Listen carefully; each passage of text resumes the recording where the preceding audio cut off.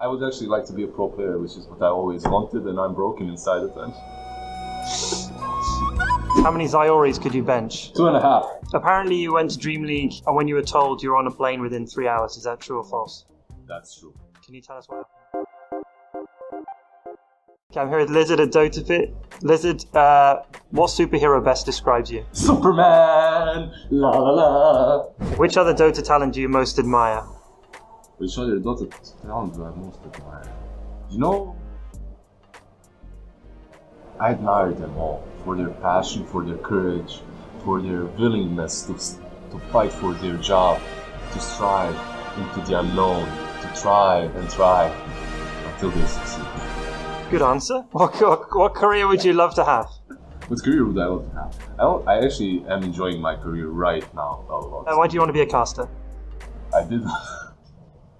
I was. I tried to be a pro player. It didn't work out. And Garrett, I told Garrett, like, listen, boy, I'm gonna kill you if you don't invite me to your event. And he invited me because he was afraid. I guess I don't know. And then I kind of liked it, and uh, I, I started thinking more. And the more I thought, the more I liked the gig. And it's kind of like one of those arranged marriages. You know, it happens, but you, you're not into it at the start. But you you you you kind of fall in love as the time goes by. What's the biggest obstacle you've had so far? I don't know what my biggest obstacle was because I'm obviously I'm kind of a guy that when I have an obstacle, I, I do my best and try to try to go over it. My biggest obstacle, I believe, was the fact that I couldn't realize what my obstacle was, what prevented me from being a tier one player. I guess it's talent. I'm a talentless swine. I don't know.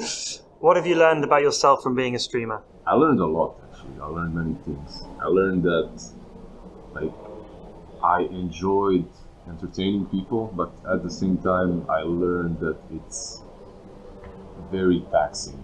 Like you can feel super drained after just three, four hours of constantly trying to entertain someone, even though you don't see him, even though it's only like some random people that you, like, I mean, not random, the viewers that you aren't really connected to, right? So that's what I learned. And the second part is that you have to stay true, true to yourself. If you aren't true to yourself, no matter what you do, you aren't going to be happy in Dream League. That's just deep right there. I know. I hit you with that. I, I really feel that. Yeah. Apparently, you went to Dream League. Yep. And when you were told you were on a plane within three hours, can you tell us what happened? Actually, I was in a game and I was playing Phoenix. I was defending versus Mega Creeps.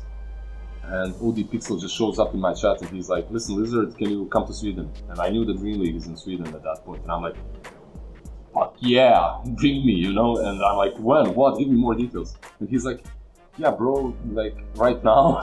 and I'm like, what do you mean right now? I'm playing. I'm basically playing in chat, looking at the chat at the same time, trying to defend Mega Creeps and defend myself versus OD as well.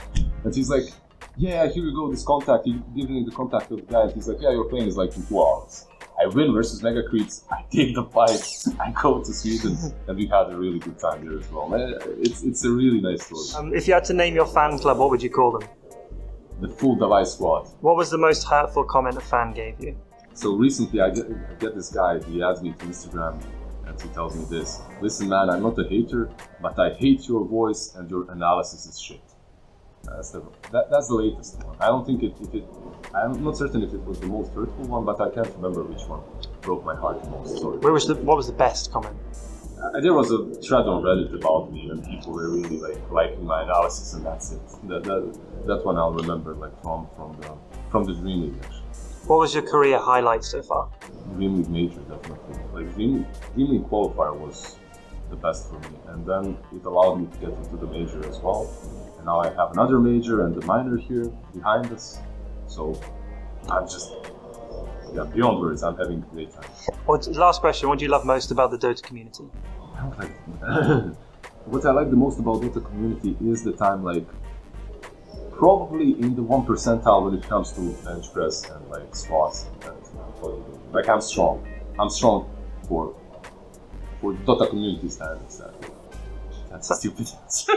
Thank you, Liz. bye bye.